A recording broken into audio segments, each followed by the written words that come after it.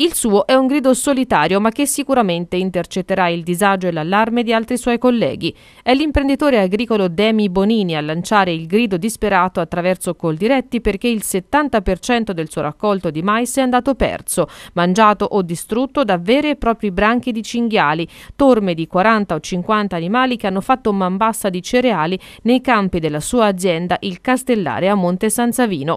Produco, afferma Bonini, o meglio vorrei produrre uva, olio, cereali nei miei circa 30 ettari di terra, ma non so se avrò ancora la forza di andare avanti. Per salvare almeno l'uva ha dovuto mettere in campo una costosissima recinzione elettrosaldata, ma i cinghiali riescono spesso a passare.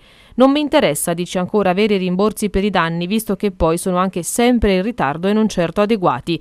Vorrei essere messo nelle condizioni di coltivare in pace, come accadeva qualche anno fa, quando la densità degli animali selvatici era ancora ragionevole e sapevamo di perdere un 4-5% del raccolto. È una battaglia questa, spiega a sua volta il direttore di Coldiretti Arezzo Giampiero Marotta, che Coldiretti ha fatto senz'altro propria, sollecitando le istituzioni ad affrontare il problema, trovando le soluzioni più efficaci in tempi rapidi, tenendo conto che ogni giorno i cinghiali e gli altri ungulati si mangiano oltre 10.000 euro di colture agricole toscane.